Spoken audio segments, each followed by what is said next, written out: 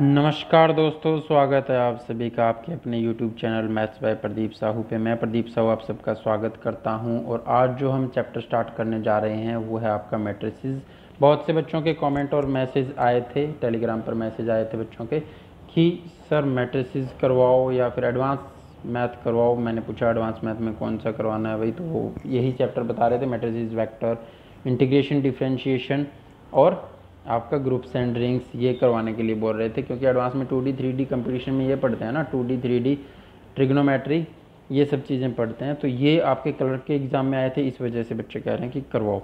तो करवा देते हैं बच्चे, कोई दिक्कत नहीं है, जिनकी तैयारी अच्छे से हो चुकी है, वो इनसे आगे कंटिन्यू करे, सब चीज़ें क्लियर करके जाए, ताकि आपका एग्ज़ाम अच्छा हो। और इसमें हम पढ़ेंगे, सबसे पहले मैं बता देता हूँ कि जब भी आप प्लूरल में लिखते हो तो मैट्रिसेस लिखा जाता है, जो हमने सबसे ऊपर लिखा है।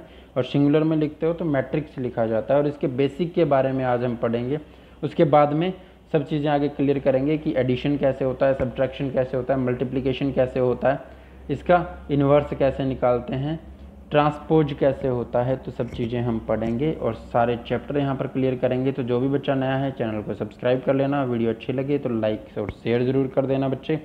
और पीडीएफ के लिए टेलीग्राम ज्वाइन कर लेना डिस्क्रिप्शन में आपको लिंक मिल जाएगा सारी पीडीएफ आपको वहाँ पर मिलेगी। ये पीडीएफ मैं आप, आपको वहाँ पर डाल दूँगा।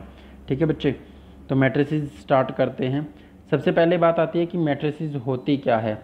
तो ये एक रेक्टेंगुलर एरे होता है। एरे मतलब है कि सारणी होती है या टेबल होती है जिसके अंदर आप नंबर्स को सिंबल्स को और एक्सप्रेशंस को अरेंज करते हैं। ठीक है? किसमें? रो और कॉलम में। किसमें? स्तंभ ये रो और कॉलम में। ठीक है? तो ये आपका आगे एरे के बारे में भी मैंने लिख दिया है कि एरे क्या होता है। अरेंजमेंट ऑफ़ ऑब्जेक्ट पिक्चर्स और numbers in row and column ठीक है? ऑब्जेक्ट को पिक्चर्स को नंबर्स को रो और कॉलम में सजाना क्या कहलाता है? एरे कहलाता है। ठीक है? रो मतलब होता है रो पंक्ति और कॉलम मतलब होता है स्तंभ, यानी पंक्ति और स्तंभ में बताना। आगे एग्ज़ाम्पल लिख दिया है मैंने बच्चे, कि यहाँ पर आपको one, four, two, five, three, six, ये क्या है? ये first row second row third row है, ये आपकी रो होंगी, और ये क्या है? ये आपके कॉलम होंगे बच्चे। ठीक है फ़र्स्ट कॉलम सेकंड कॉलम तो इसमें कितनी है? तीन रो हैं। और कितने कॉलम हैं? तो दो कॉलम हैं। ठीक है, आप क्या लिखते हो? इसको ऐसे भी लिख सकते हो किसी मैट्रिक्स को। ऐसे भी डिफाइन कर सकते हो आप कैसे? A i j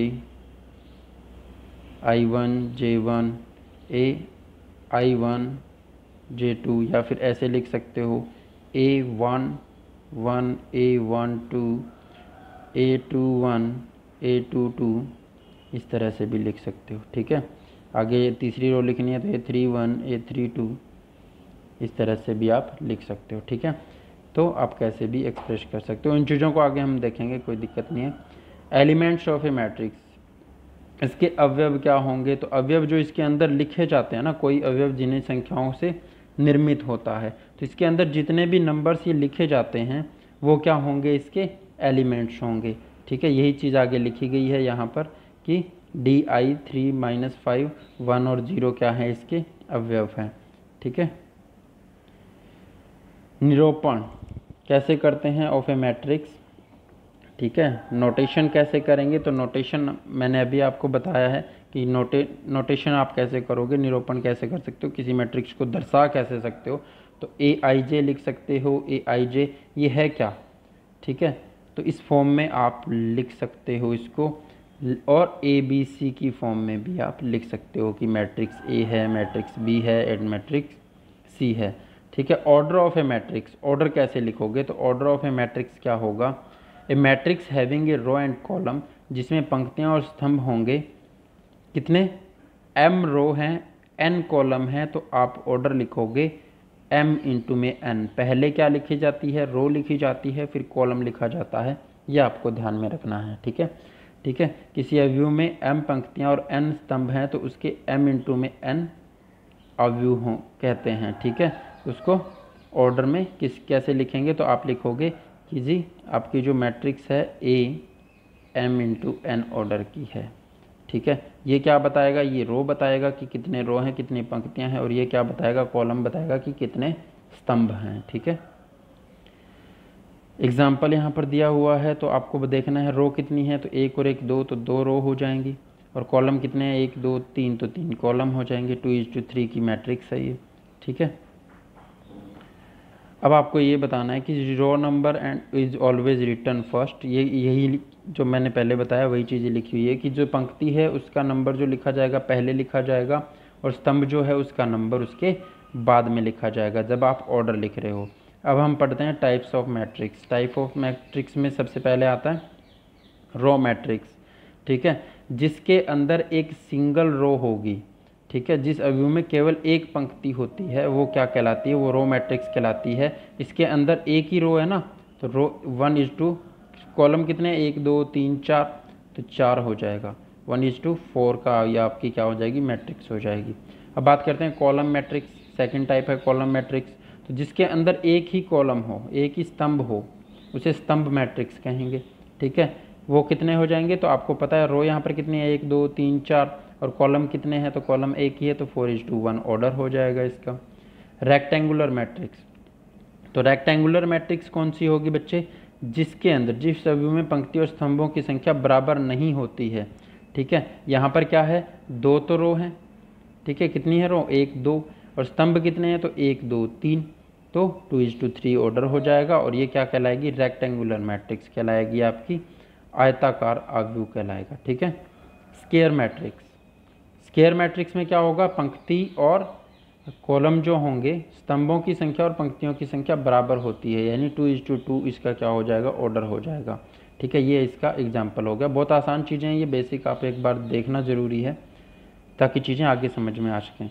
ठीक है, ऐसे अवयव जिनके मुख्य विकर्ण के अवयवों के अलावा शेष सभी अवयव क्या होते हैं? शून्य होते हैं। वो कहला, क्या कहलाती है? डायगनल मैट्रिक्स कहलाती है, आपकी विकर्ण अवयव कहलाता है।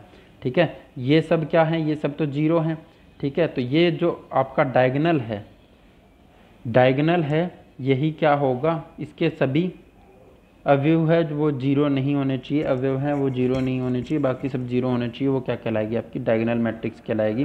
और ये प्रिंसिपल डायगनल होता है बच्चे, ये क्या होता है? ये आपका प्रिंसिपल डायगनल होता है, जिसके अंदर ए आई जे जो है i is equal to j हो। ये क्या है? ये ए वन वन है ना? ये ए टू टू है, ये ए थ्री थ्री है तो ये क्या होगी? ये आपका जो ये वाला होगा ना, ये प्रिंसिपल डायगनल होता है, ठीक है? क्या होता है? प्रिंसिपल डायगनल होता है ये आपका, ठीक है? ये चीज़ ध्यान में रखनी है और आप सीधा ये भी लिख सकते हो कि डायगनल और तीनों ये एलिमेंट ठीक है? डायगनल और तीनों ये एलिमेंट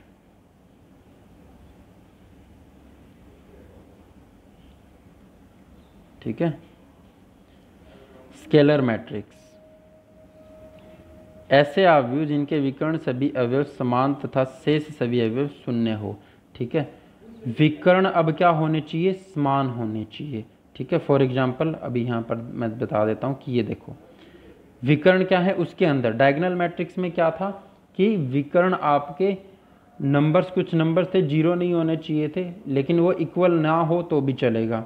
लेकिन यहाँ पर क्या स्केलर मैट्रिक्स में क्या होगा? ये इक्वल होने चाहिए। जैसे फाइव फाइव फाइव है ना?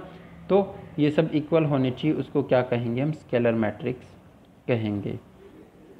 ठीक है? Every scalar matrix is a diagonal matrix हर एक जो स्केलर मैट्रिक्स होगी, वो डायगनल मैट्रिक्स होगी, लेकिन हर डायगनल मैट्रिक्स स्केलर मैट्रिक्स हो, ऐसा ज़रूरी नहीं है। तो ऐसे क्वेश्चन आ सकते हैं। आपको ये चीज़ें क्लियर रखनी है। क्यों? क्योंकि ये तो आपको पता है, ये किसी डायगनल वाले नॉन ज़ीरो रहेंगे तो ये डायगनल मैट्रिक्स तो हो सकती है स्केलर मैट्रिक्स लेकिन ये ज़रूरी नहीं है कि डायगनल मैट्रिक्स के अंदर सारे के सारे ये इक्वल रहें। तो ये हर एक डायगनल मैट्रिक्स स्केलर मैट्रिक्स हो, ये ज़रूरी नहीं है। लेकिन हर स्केलर मैट्रिक्स डायगनल मैट्रिक्स होगी आपकी। ये है, ये ज़रूरी है, ठीक है? अब आता है यूनिट मैट्रिक्स और आइडेंटिटी मैट्रिक्स इकाई तथा तत्समक आव्यू इसको इसमें क्या होगा? डायगनल जो हैं, वो आपके वन होंगे, बाकी सब ज़ीरो होंगे। डायगनल के एलिमेंट जो हैं वो सब वन वन वन होंगे और बाकी सारे क्या हो जाएँगे? बाकी सब हो जाएँगे आपके ज़ीरो। ठीक है? कंडीशन क्या है? ए आई जे वन होगा if i is equal to j क्यों? क्योंकि प्रिंसिपल डायगनल है ना a one one a two two a three three i is equal to j के लिए तो वन होगा और बाकी सब ज़ीरो होंगे if i is not equal to j ठीक है? तो ये कंडीशन है आपकी। Unit matrix is donated by क्या? आई एन और आई। इसको आई और आई एन से हम लिखते हैं। Every unit matrix is also his scalar matrix. हर एक यूनिट मैट्रिक्स स्केलर मैट्रिक्स होगी, लेकिन हर एक स्केलर मैट्रिक्स यूनिट मैट्रिक्स हो, ये ज़रूरी नहीं है, बच्चे। ठीक है? क्यों? क्योंकि हर एक स्केलर मैट्रिक्स में डायगनल वन वन वन हो, ये ज़रूरी नहीं है। लेकिन ये क्या हो सकती है? ये आपकी आइडेंटिटी मैट्रिक्स जो होगी या यूनिट मैट्रिक्स जो होगी, उसके अंदर वन वन वन होंगे तो वो इक्वली है ना? तो इसलिए हम कह सकते हैं कि वो एक स्केलर मैट्रिक्स हो मैट्रिक्स हो सकती है। नेक्स्ट है बच्चे ट्रेंगुलर मैट्रिक्स ट्रेंगुलर मैट्रिक्स में ये दो टाइप की होंगी आपकी। कौन कौन सी हो सकती हैं? ट्रेंगुलर मैट्रिक्स दो टाइप की। तो एक तो अपर ट्रेंगुलर एक लोअर ट्रेंगुलर अब ये अपर ट्रेंगुलर और लोअर ट्रेंगुलर में डिफरेंस क्या होगा, वो हम देख लेते हैं। अपर ट्रेंगुलर में क्या होंगे? इसने लिखा है ऐसे अवयव जिनके मुख्य विकर्ण के नीचे सभी अवयव शून्य होते हैं। यानी अपर वाले में तो नंबर्स हों, लेकिन उससे नीचे वाले में क्या हो, सब शून्य हो जाए। ये सब चीज़ें आप पढ़ सकते हो। जिसको इंग्लिश में पढ़ना है, इंग्लिश में पढ़ लेना। जिसको हिंदी में पढ़ना है, हिंदी में पढ़ लेना। पीडीएफ आपको टेलीग्राम में मिल जाएगी बच्चे, और लिंक आपको उसका डिस्क्रिप्शन में मिल जाएगा। ठीक है? तो ये क्या बोलता है? यहाँ एग्ज़ाम्पल एग्ज़ाम्पल से देख लेते हैं कि जो नीचे वाले अगर सब ज़ीरो होंगे तो आपकी क्या होगी? अपर ट्रैंगुलर मैट्रिक्स होगी, क्योंकि अपर वाली ट्रैंगल में क्या है? अपर वाली ट्रैंगल में, या फिर ये बड़ी ट्रैंगल बना लो आप, इसके अंदर क्या है? सभी नंबर्स हैं, बाकी सब ज़ीरो हैं। ये होता है ना आपका प्रिंसिपल डायगनल आगे भी मैं इसको डिफाइन करूँगा और पहले भी मैं बता चुका हूँ प्रिंसिपल डायगनल किसे कहते हैं? लोअर ट्रैंगुलर मैट्रिक्स अब जिसमें ऊपर वाले ज़ीरो हो जाएँगे, वो लोअर ट्रैंगुलर मैट्रिक्स हो जाएगी। ठीक है? क्या है? जिसमें ऊपर वाले ज़ीरो हो जाएँगे। यही सब चीज़ें बच्चे लिखी हुई है। मैं डिफाइन नहीं कर रहा, उन चीज़ों को नहीं पढ़ रहा, ताकि आपका टाइम बचे। जो आपको समझने वाली चीज़ें हैं, वो मैं समझा रहा हूँ। पढ़ आप खुद सकते हो उसको, ठीक है? ऊपर वाले ज़ीरो हैं तो ये ट्रैंगल बन रही है। यानी ये क्या है? ये लोअर ट्रैंगुलर मैट्रिक्स है। नेक्स्ट आता है आपका नल मैट्रिक्स और ज़ीरो मैट्रिक्स तो जिसके सभी एलिमेंट क्या हों? ज़ीरो हों, जिसके सभी अवयव शून्य हों, वो क्या होगी आपकी? नल मैट्रिक्स होगी। ठीक है? इसके अंदर टू इज़ टू टू की मैट्रिक्स है, लेकिन सब ज़ीरो हैं तो नल मैट्रिक्स हो जाएगी। ठीक है? कंपेरेबल मैट्रिक्स यानी तुलनीय अवयव क्या होंगे, वो आपको यहाँ पर अब क्या करना है? ऐसे अव्यू जिनके क्रम एक समान हो, यानी जिसका ऑर्डर क्या हो, एक समान हो। टू इज़ टू थ्री है टू इज़ टू थ्री है, यानी यहाँ पर दो रो हैं, तीन कॉलम है, यहाँ भी दो रो हैं, तीन कॉलम है तो इनको क्या कहेंगे? कंपेरेबल मैट्रिक्स कहेंगे। इक्वलिटी ऑफ़ मैट्रिक्स अवयव की समानताएँ, यानी इक्वल कब होंगी? तो जब आपके सेम ऑर्डर की हो और सेम ऑर्डर की हो, जो पोजीशन है नंबर्स की जो पोजीशन है, वो आपके क्या हो? सेम हो। ठीक है? सेम ऑर्डर की हो और नंबर की पोजीशंस भी क्या हो? जिस पोजीशन पे, यानी ए वन वन है तो दूसरी में भी ए वन वन सेम होना चाहिए। ठीक है? तो अब आपको क्या करना है? यहाँ से अगर ये बताना हो कि ए बी सी की वैल्यू क्या होगी तो आप सीधा बता सकते हो। अगर मैट्रिक्स इक्वल दे रखी है तो इनके ऑर्डर भी इक्वल है ना? ये टू इज़ टू थ्री की मैट्रिक्स है, ये भी टू इज़ टू थ्री की मैट्रिक्स है। ठीक है? तो ए की जगह क्या आना चाहिए? तीन आना चाहिए। बी की जगह क्या आना चाहिए? आठ आना चाहिए। और सी की जगह क्या आना चाहिए? ज़ीरो आना चाहिए। ठीक है? तो ये आपको इक्वलिटी के लिए चेक करना है। यानी ए ऑफ़ आई जे अगर दो मैट्रिक्स हैं ए और बी तो आपको ए ऑफ़ आई जे इक्वल होना चाहिए बी ऑफ़ आई जे के, ठीक है? और एक कंडीशन क्या होनी चाहिए? सेम ऑर्डर होना चाहिए, ठीक है? तो ये दोनों इक्वल के लिए आपके कंडीशंस हैं। अब डायगनल एलिमेंट्स क्या होंगे? तो डायगनल एलिमेंट्स जो हैं, वो आपके ये वाले होंगे, ठीक है? यहाँ पर ये लिखा हुआ है डायगनल एलिमेंट्स टू फोर और टू है, ठीक है? तो ये वाले आपके डायगनल एलिमेंट्स होंगे, पहले भी मैंने बताया है a one one a two two a three three a i j हमेशा इक्वल होना चाहिए, वो हैं आपके डायगनल एलिमेंट्स ठीक है?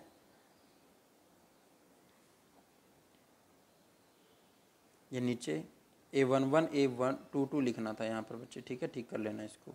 A two two a three three ठीक है? ये होंगे आपके डायगनल एलिमेंट्स अब आता है प्रिंसिपल डायगनल तो ये मैं पहले बता चुका हूँ बच्चे, मुख्य विकर्ण क्या होगा? तो a of i j where i is equal to j ठीक है? A of one one a of two two a of three three ये क्या होंगे आपके प्रिंसिपल डायगनल के एलिमेंट होंगे और ये प्रिंसिपल डायगनल होगा आपका। तो ये सब चीज़ें थी आपके लिए बेसिक किसका? मैट्रिसेस का। और आगे हम चीज़ों को अच्छे से पढ़ेंगे। तो आपको क्लास कैसी लगी ज़रूर बताना कमेंट करके। अच्छी लगी हो तो लाइक शेयर ज़रूर करना और जो बच्चा नया है चैनल को सब्सक्राइब कर लेना। इस वीडियो में इतना ही। नेक्स्ट वीडियो में फिर मिलेंगे अच्छे क्वेश्चनों के साथ, अच्छे बेसिक के साथ। तो शेयर ज़रूर करना दोस्तों। अपना और अपनों का ख्याल रखना। Okay bye bye take care love you all